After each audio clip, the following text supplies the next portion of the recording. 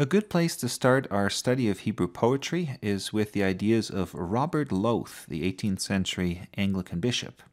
And Lowth, as we'll see, came up with three types of what he called Hebrew parallelism.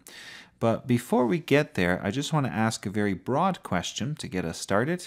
And that's the question what is poetry in the Bible? So, what is poetry? And by that I mean, what are some of the basic features of it? What should we focus on when we zoom into a particular passage? Now, the first thing to note is that when you open almost any modern Bible, you're going to see that some passages are clearly set apart as poetry and some are set apart as prose. So, prose is regular text, okay, and you can see that here, whereas poetry, all right, poetry clearly has lines indented, the lines don't go all the way to the right side. It's very uh, very obvious that these are different types of text, right? Prose and poetry. And the example I've picked here is from the book of Job. So as you start chapter 3, you see that it suddenly turns to poetry. And in fact, if we look at the entire book of Job, okay, the entire book, the first two chapters, 1 and 2, are prose, and then the rest of the book is entirely poetry except for the last chapter, 42, which returns us again to prose. If that's the case, if so much of that book is poetry, well, then it's probably important to figure out what makes it poetic. And it's interesting how often we simply ignore that question. So, what makes it poetic? What have scholars looked at over the centuries? Uh, well, the first thing that they, or one of the things they often look at, is whether it rhymes. That's a natural thing to uh, to examine. As it turns out, in the original Hebrew, there is little rhyme. Okay, so there's occasional rhyme, but it's not a major feature. Um, well, what about meter? So by meter, we mean the rhythm of the line. If you think, for instance, of a Shakespeare sonnet, it has a particular rhythm, right? Pa-pum, pa-pum, pa-pum. That, that's what we call iambic pentameter, for example. This is one of the, the most contested parts of Hebrew poetry. Is there actually meter? Some scholars say yes, and some scholars say absolutely not. So it's not a, a question that we're going to get into because you really have to be able to read the original Hebrew. Uh, but a lot of scholars feel that meter is not a significant feature, and that in any case it's very difficult to determine what often the meter might be. Another thing that we can note, and this is quite important, um, most of the poems in the Bible, especially in the Old Testament, have very short lines. Okay, so short lines. And that I think is significant. It gives the lines quite a quick pace. So nothing is drawn out, it's very quick. Uh, but at the same time, the, the lines are often a bit like proverbs. They make you think, right? There's a lot of wisdom in them. And that forces you to slow down, on the other hand. It forces you to meditate on what the lines actually mean. So there's this wonderful kind of combination of quickness and slowing down and meditating, and the two definitely go hand in hand. Now, as you can see, uh, there is some debate then about some of these things. How much rhyme is there? How much meter is there? What's the significance of these short lines? And what is intentional or not? Uh, and that that kind of confusion has been there for a long time, although we know much more now than we did in the past. If you go all the way back, for instance, to the 1580s, and you look at the work of the Protestant writer Sir Philip Sidney, he makes an interesting observation about uh, biblical poetry. He says the Holy David's Psalms are a divine poem, right? So he recognizes clearly that this is a poem. And then he adds that he believed that, uh, quote, it is fully written in meter, as all learned Hebricians agree, although the rules be not yet fully found, which is somewhat humorous, isn't it? It's kind of saying, well, there's probably meter, but nobody can agree on the lines. Let's hope in the future this becomes more uh, clear. So that's an interesting moment because it really suggests that when Sidney was writing, nothing was absolutely clear, and for centuries people had really wondered about this. That's the point when we turn to Robert Lowth. Okay, so what Lowth teaches us in the 18th century is that there's there, there's one main feature of Hebrew poetry that really stands out, and that's what he refers to as parallelism. Okay, so parallelism. There we go. Hebrew parallelism. The idea that lines run parallel to each other and have a lot in common with each other, although sometimes there's a contrast. Uh, but each set of lines has a relationship to each other. It's not so much about rhyme, it's about the way the lines relate to one another. Okay, so it might be nice then, before we really dig into uh, some specific examples, to know a bit more about who Robert Lowth actually was. Here's a, a quick bio of Robert Lowth. He lived from 1710 to 1787.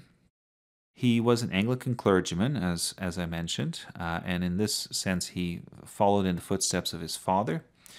From 1741 on, he was also professor of poetry at Oxford, and he very often lectured on Hebrew poetry. In 1753, he took many of these lectures and he published them. Uh, he published 34 lectures in a Latin treatise, and the name of the treatise, I'll just give you the English version here, is On the Sacred Poetry of the Hebrews. Now, that particular volume became more popular after it was translated into English, and that happened in 1787 uh, by a fellow named George Gregory. Uh, and you can find this fairly easily online, actually. So if you want to read the original, uh, that would be the place to look.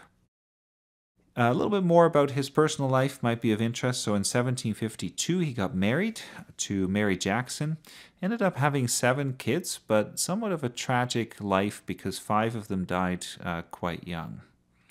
Towards the end of his life, he was asked to be Archbishop of Canterbury, quite an honor, but he declined, uh, possibly due to ill health. And then finally, he's uh, Robert Lowth is also quite well known for his work on English grammar and for a translation of the book of Isaiah. So that gives you just a quick overview of who Robert Lowth was, and next we'll talk about his three types of parallelism. Robert Lowth talks about parallelism in the 19th chapter of his book, which is significant because parallelism is not his main focus. Uh, one of the things he really wants to show is that the prophetic books in the Old Testament are just as poetic as, let's say, the book of Psalms or Job. Uh, another thing he's interested in is pointing out that um, Old Testament poetry is sublime, just as sublime and awe inspiring as, let's say, classical literature, even though it's written in a rather plain style. So, those are his main aims, but he does give us some really interesting insights into parallelism as well. And a good example of parallelism is Psalm 122, verse 7. So, Psalm 122, verse 7. As you read these lines, you can hear how they echo each other. May there be peace within your walls and security within your citadels. So, peace and security echo each other, and your walls and your citadels are kind of the same thing as well, right? A citadel is a type of fortress. So, these lines then run parallel to each other. Think of them as somewhat like railway tracks, uh, and they, they simply go on together as a, si a single unit. So, that is parallel structure. And Lowth argued that you can find it throughout Hebrew poetry, uh, and it really comes in three types, according to Lowth. So the first type is what he called synonymous, which is exactly what we just saw synonymous. That's where the lines are equal to each other, right? They echo each other. A perfect example is Psalm 114. The entire psalm consists of synonymous parallelism. And you can pause the video and read the psalm carefully, and you'll hear this. It's a, it's a very unique effect, all of this repetition. So, verse 3 is a good example. The sea looked and fled, the Jordan turned back. Right? The lines are synonymous to each other. Uh, I should say this is quite rare for an entire psalm to be like this, which makes it stand out all the more. Our next example, and this is still synonymous parallelism, uh, comes from Isaiah 54, verse 5. This is a slight variation that we call interlinear, interlinear parallelism. So interlinear. Okay, and as I mentioned, it's a form of synonymous parallelism. So in this case, uh, we read, For your Maker is your husband, and that line doesn't get repeated until the third line. The Holy One of Israel is your Redeemer. So husband and Redeemer are seen as synonymous terms, and then the Maker and the Holy One of Israel echo each other as well. And that allows us to see then that the alternate lines, so 2 and 4, are about the name of God. The Lord Almighty is his name, and then there's a reference to what he is called in the last line. So interlinear here means that uh, sort of between the lines, right? There's there's something that interrupts the flow, but these these things are synonymous uh, with each other. So that's simply a variation on synonymous parallelism. Sometimes the repetition is so obvious uh, that there's hardly any difference. And a great example is, is Isaiah 15, uh, verse 1b. Uh, Ar in Moab is ruined, destroyed in a night. Kir in Moab is ruined, destroyed in a night. So really only there's only one subtle change here uh, that we might note, but otherwise this is all the same. Okay, now our second type of parallelism is what Robert Lowth called antithetic parallelism. So antithetic. You can think of this as basically a contrast. The book of Proverbs actually has quite a few good examples, and I've, I've provided two here, but I'll just read the first one to you. A cheerful heart is good medicine, but a crushed spirit dries up the bones. Okay, so we can see that there's a contrast between these, these lines. Uh, the first is about being cheerful, and the second is much more about being depressed, let's say, or, or sad.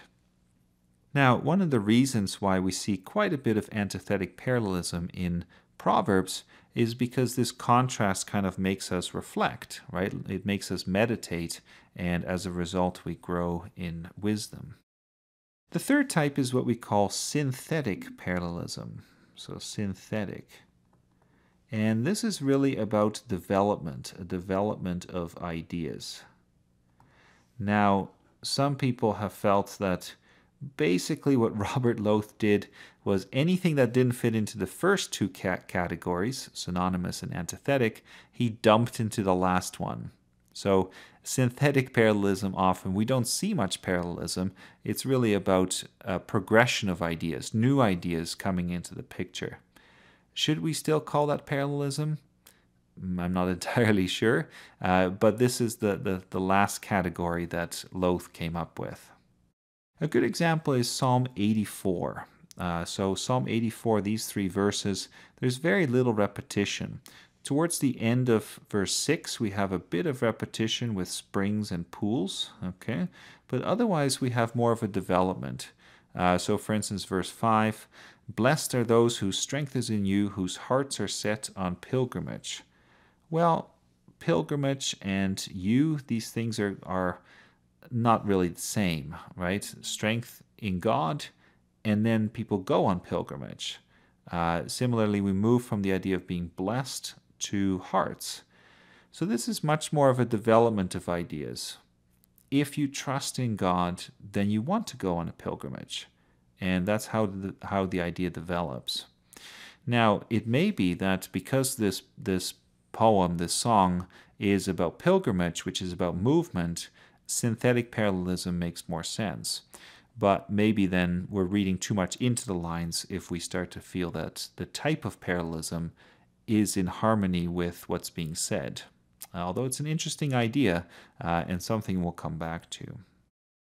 Now, there are a couple of types of uh, syn synthetic parallelism that are worth noting at this point. Uh, one of these is what we call staircase parallelism. So, staircase parallelism, uh, also referred to as climactic parallelism. So, climactic. And the basic idea here is that there's a kind of crescendo uh, going up the stairs, right? Uh, it's like the um, things get added on top of each other, and so that's that's really impressive, and it fits perfectly for something like Psalm 93, where the power of the sea is described, And the repetition, the kind of growing of ideas here, uh, is somewhat like the waves, which just keep crashing and, and one after the other kind of builds up, right? So the seas have lifted up, Lord. The seas have lifted up their voice. The seas have lifted up their pounding waves. Uh, this is a great example of staircase repetition, which Robert Lowth argued was a type of synthetic uh, parallelism. And then the last one here, another example of the synthetic type, is what he referred to as numerical parallelism. So numerical. Okay. Basically, this has to do with counting. It's not super common, but you'll see it sometimes. Uh, here's an example. For three sins of Damascus, even for four, I will not relent. So there's a focus on counting here, kind of adding up uh, of examples. Okay, so at this point, I hope that you can see that parallelism provides a great, great sense of clarity when you open up almost any poetic passage in the Bible. Psalm 1 is a great example. Uh, as you can look at this, this image, you can see that all three types of parallelism are present. And suddenly there's order, right? As we read, we go, aha, now I can see what the poet is really doing. Uh, so that's fantastic, but I should also end this video with a few notes of caution. And in particular, I'm going to mention four things to watch out for. So, first of all, Robert Lowth was not entirely original. Okay, so he was not entirely original in coming up with this. Uh, people had noted the repetition in the Bible before, although often they saw this as just one among many poetic and rhetorical devices, and so they did not draw as much attention to it. The second thing to note is that it's not just found in poetry. So we don't only find parallelism, okay, in poetic passages, not just poetry. You can find parallelism in prose as well. Uh, and so some scholars have argued that maybe it's not a key feature of poetry, it's more a way of thinking, the way in which ancient people emphasize things. But you shouldn't push that argument too far either because it's it's very clear that there is a difference between the poetic and the prose passages. Uh, in the third place, okay, we should always be aware of exceptions exceptions. And when you when you read Robert Lowth, you sometimes feel a little bit that you, that you're dealing with very basic shapes. So if you're learning shapes for the first time and you were only told that there you're told that there are only three types of shapes, right? Triangles, circles, and squares, let's say, then you might be like, okay, but when I look at nature, when I look at life around me, uh, life is much more complex. So we really need to start to start to look at exceptions to these three basic types of parallelism. And in future lessons, we will certainly do that. Okay, and then finally, Robert Lowth focused probably a bit too much on similarity. Too much similarity between the lines. Okay, too much similarity between these parallel lines. Uh, and we will definitely see that often it's much more important to focus on the difference between the lines rather than the repetition. But Lowth's three categories are a great place to start. Uh, we're going to complicate them, but it's really important to know these basic three types synonymous, antithetic, and synthetic.